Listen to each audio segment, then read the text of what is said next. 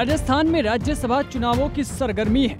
अगले साल विधानसभा चुनाव है, इसके बाद लोकसभा चुनाव। पर उससे पहले राजस्थान में हुए उपचुनाव की चर्चा जोरों पर है। चुनाव हुआ उदयपुर ज़िले के सलुम्बर नगर पालिका के वार्ड नंबर 9 में। ये उपचुनाव अपने आप में बेहद ही रोमांचक रहा। वजह ये कि चुनावी मैदान में एक ही परिवार की दो बहुएँ आमने सामने थी। और बेहद कड़े मुकाबले में भाजपा की जेठानी कांग्रेस की देवरानी पर भारी पड़ी।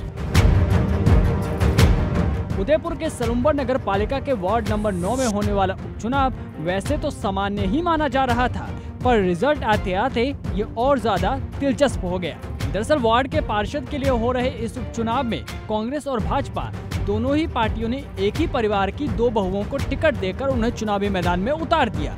रविवार को मतदान हुए। लोगों ने बढ़ चढ़ हिस्सा लिया। कस्बे के लोगों को ये जानने में दिलचस्पी थी कि चुनावी रण में उत्तरी कांग्रेस की देवरानी भारी पड़ती हैं या फिर भाजपा की जेठानी। मतगणना शुरू होते के साथ ही मतगणना केंद्र के बाहर लोग जमा होना शुरू हो गए। कुछ ही देर में निर्वाचन अधिकारी ने चुनाव परिणामों की घोषणा करते हुए भाजपा प्रत्याशी अनिता वैष्णव को विजेता घोषित कर दिया। अनिता ने कांग्रेस प्रत्याशी और अपनी देवरानी को 36 वोट से चुनावी मैदान में मात दी। वहीं छह वोट नोटा को मिले।